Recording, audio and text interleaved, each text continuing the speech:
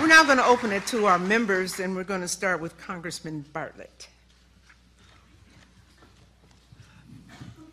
As I've uh, sat and listened to this uh, testimony, I was asking myself a uh, question. If, uh, for my good, uh, there is a cover up of uh, these sightings, then what else might the government do for my good?